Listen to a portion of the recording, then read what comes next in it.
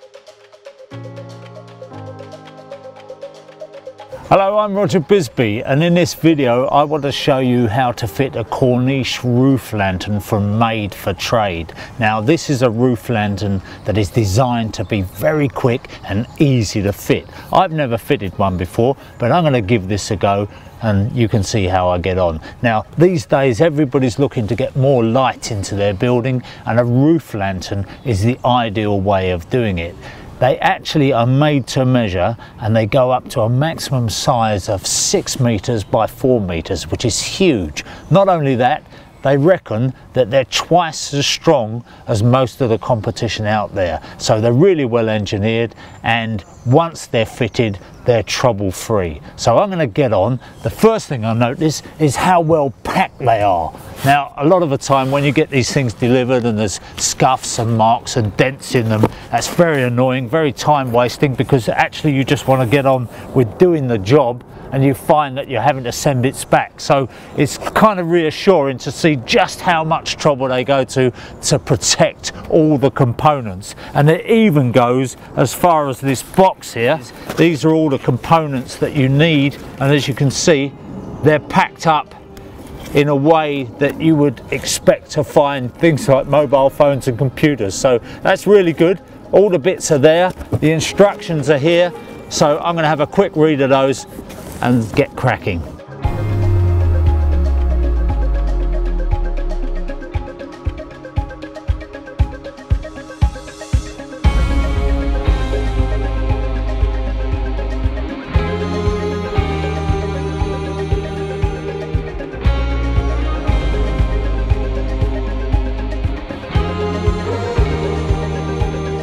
You might be a little bit concerned that this thing is held together with cable ties on each corner but actually all they're there for is to locate these corners keep them really snug and tight so that when we put the screws in or when we put the hips on these won't spread apart so they're just a temporary thing we're going to cut them off afterwards.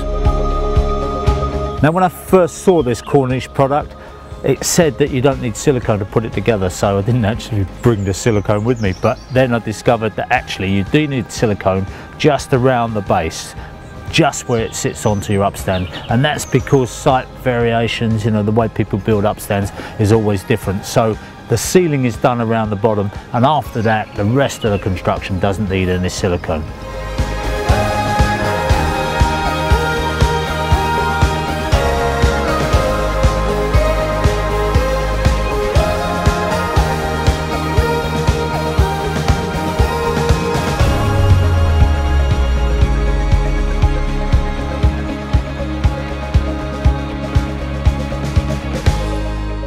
Now, anyone that knows me knows that I'm an enthusiast for good engineering. And the other thing I say is that if there's a problem, then the manufacturer ought to design the product in such a way that they design it out. And that's precisely what they've done here. Made for Trade have done this because very often if you are assembling these kind of things, you find a little gap and you put a self-tapping screw in and you try to close that gap up.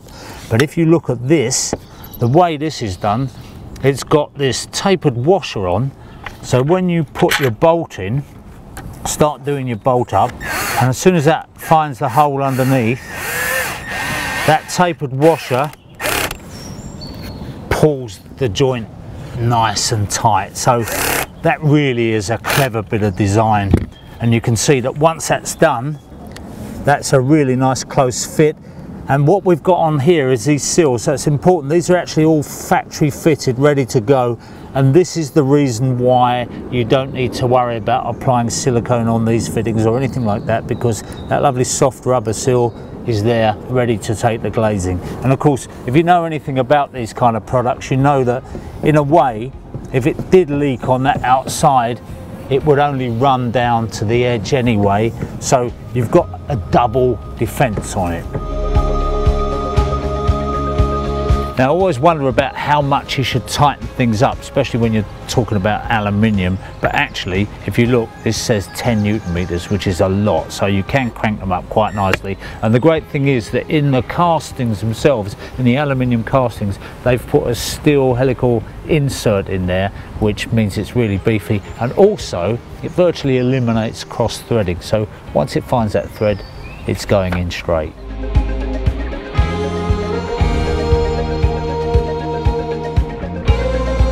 Now because this is only 1.8 meters long, I can do that on my own. Obviously when you get down to six meters long, you're gonna need some help. So we've just got a quick visual check to make sure that that hole's lined up and that's another reason that these cable ties, these zip ties work really well because they do pull it all into line so there shouldn't be any problem.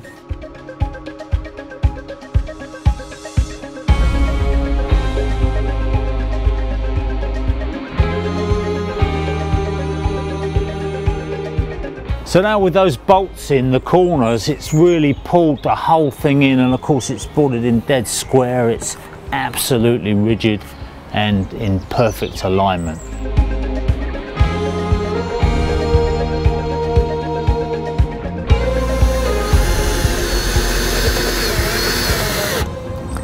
Now, I like the fact that these are pre-drilled. It means you haven't got to measure or mark out, and of course you know exactly where you're going, and it makes sure you put exactly the right amount of fixings in as well. Now, I'll be honest with you, the point at which I lose faith with these kind of systems is when they get those silicone guns out and they try and seal the whole glazing unit in there on silicone because as a plumber, I know that if you rely on silicone alone, sooner or later it's going to let you down. And I've also seen it's a bit of a mission trying to get the glass in, pack it up, get it square.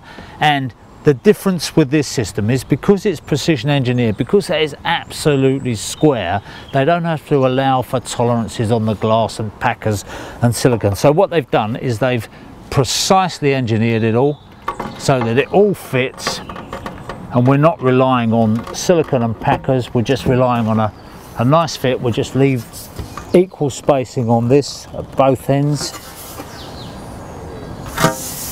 And then it pushes into place so this genuinely is my first ever attempt at this so let's see how I get on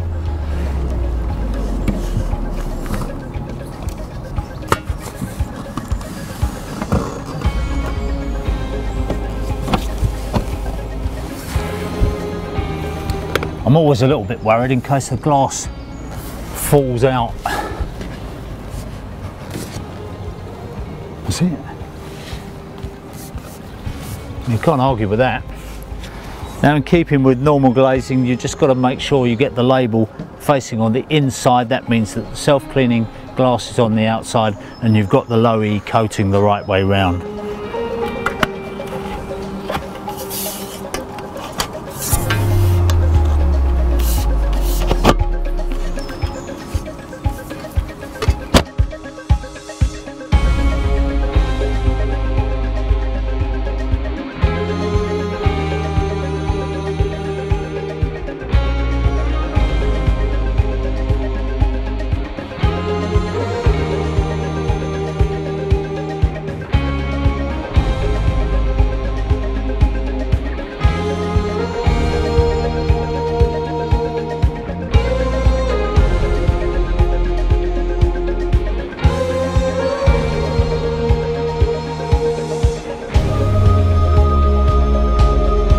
Now, at the risk of getting a little bit too sort of gushing about this product, I mean, it really is quite incredible. They've anodized these little pins here, and this is die-cast aluminium, and the reason they do that is because this is a completely thermally broken window, so it cuts down completely on the cold bridging to achieve the highest U value.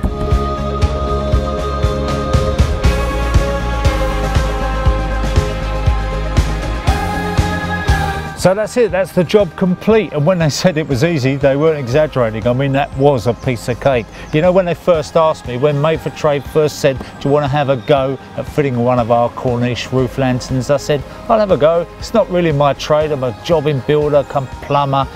But having fitted it, I'm just amazed how easy it is. The reason they had confidence in this product is because they've engineered out all those problems that are normally associated with this kind of product. Having fitted this one, I can't wait to fit another.